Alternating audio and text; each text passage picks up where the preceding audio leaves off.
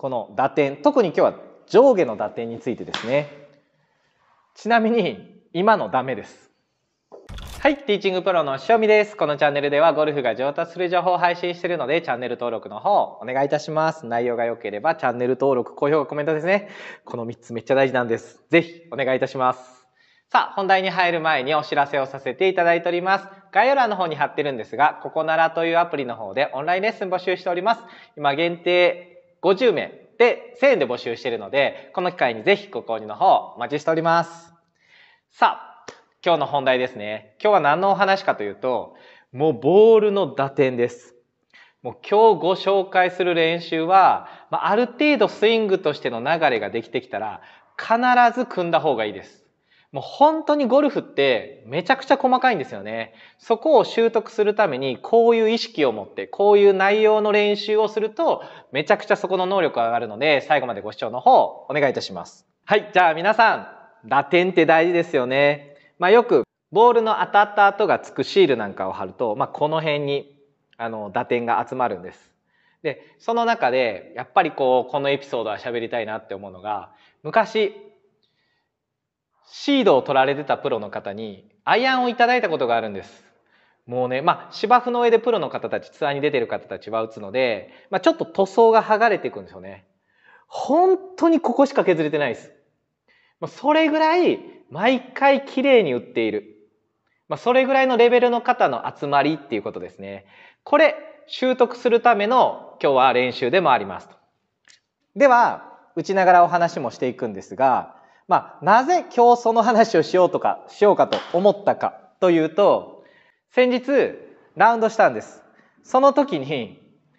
前日大雨だったんですね。で、最近今日ご紹介する練習してなかったなっていうのがすごい反省材料なんですけど、雨の後、しかも大雨だったんです。バンカーがね、池になるぐらいの大雨で、もう下結構ぐちょぐちょ状態。まあ、俗に言うライ。状態がすごく悪い。まあ、少しでも手も手前にこのバランスが触ってしまったらもうペチャって止まるぐらい結構難しい状況だったんです。その状況でまあ前半のまあ水がまだ残っているというかなかなかこう避けるとこもないような状況の時にまあパフパフダフったんです。この本当にボールをクリーンに、まあ、さっき表現しましたけど本当にここできっちりボールを捉えてる方だったらライの良し悪し、まあその程度のっていう言っときますね。下がもう滑らない状態であるっていうライで、そんなに問題は起きないはずなんですけど、やっぱり自分の甘さ、自分の下手さをちょっとこうまた今回実感したなと。ちなみに後半ちょっと芝生が乾いてきたら、やっぱり結構普通に打てるようになってました。っていうのは滑ってるってことですね。多少少し手前に当たっても、その分少し丸くできてるので、これチュッてこう滑ってくれて、まあ、ミスショット、じゃあ、細かいレベルで言うとミスショットかもしれませんが、まあ、目立たないぐらいになったのかなと。もちろんすごくそれを意識してやりましたけど、まあ、その下の状態が良くなったから、そういうふうにちゃんと飛び出したっていうことは言えるわけですね。さあ、この打点、特に今日は上下の打点についてですね。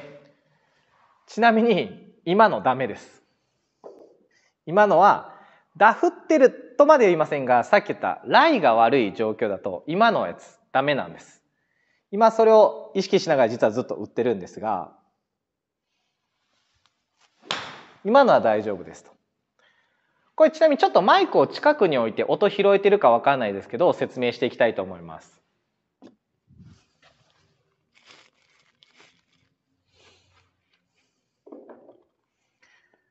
ちなみに、まあ、この音だったり打感でもいいんですけど、手に伝わる。ボールを本当にクリーンに打ちます。まあ、さっき言ったここにも頼らないってことですね。下の丸いやつ滑るようにはできてるんですけど、ここも触らないようにボールだけをクリーンに打ち、ダウンブローで少し先の芝生は削ってもちろん問題はないので、マットの音がする。こういう音を今目指して打ってるわけですね。ちなみに、ちょっとお見せしたいと思います。これ、ライが良ければ問題ないですが悪ければその先日の僕のようにバフってダフリになる音です。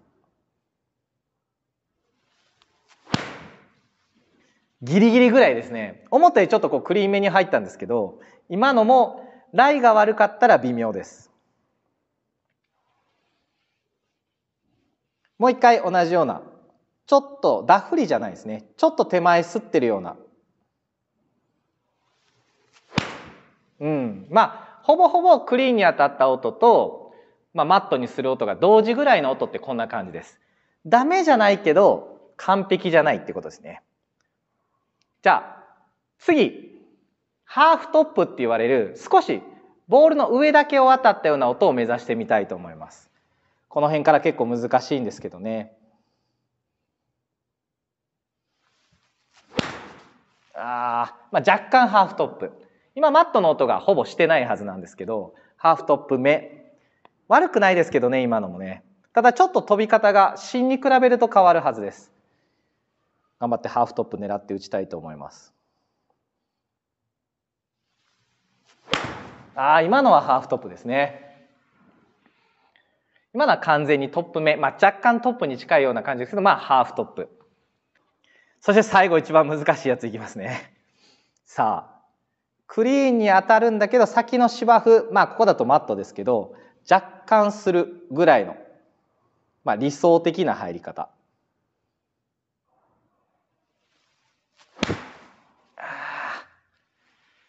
厳しく言うとちょっと噛んだかな。もう一回だけチャレンジさせてください。もう一回クリーンに当たりつつ若干先のターフは取りたい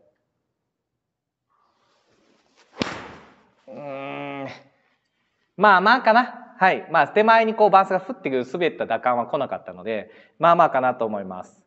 さあ、これ何をお見せしたかというと、わざと打点をずらしていくっていう作業をしてくださいってことなんです。で、その中でもちろん理想的なボールをクリーンに捉えて、もちろんその先少しターフが取れるような音っていうのは目指していただければいいんですけど、その中でボールの全体のこう丸い球体のその真ん中から下のこの幅ありますね。そこにどういう角度で入れていくのか、どういう点で当てていくのかっていうのを今みたいに下すれすれ、いいところ、ハーフトップみたいな感じで打ち分ける練習をしてほしいんです。まあ、その時に思いましたね。ちゃんとこの練習しとけばあの1打、あの1打、あの1打はなかったよねと。まあなかなか反省です。僕も日々こうやって、まあコース行きました。反省しました。あ、ここができてなかった。ここ甘くなってたなって反省して、まあ大体イライラと打てちゃうのでね、そこを甘くしてると、まあ今回はダフリっていう分かりやすいところで出ましたけど、それによってさっきみたいな当たり方で、微妙な縦距離とか球の高さってもちろん変わるわけですよね。そこを日々ちゃんと打点、入射角もそうなんですけど、打点を少し上下にわざとずらしたりもしながら、立体的にボールをどの角度でどう当てるのかっていうのを意識して練習するだけでも、これめちゃくちゃ効果が高いです。さあ、僕の反省、先日の反省も兼ねて、皆さんも、もしフェアウェイバンカーが苦手だとかね、そういう方は、実はこういうところの細かい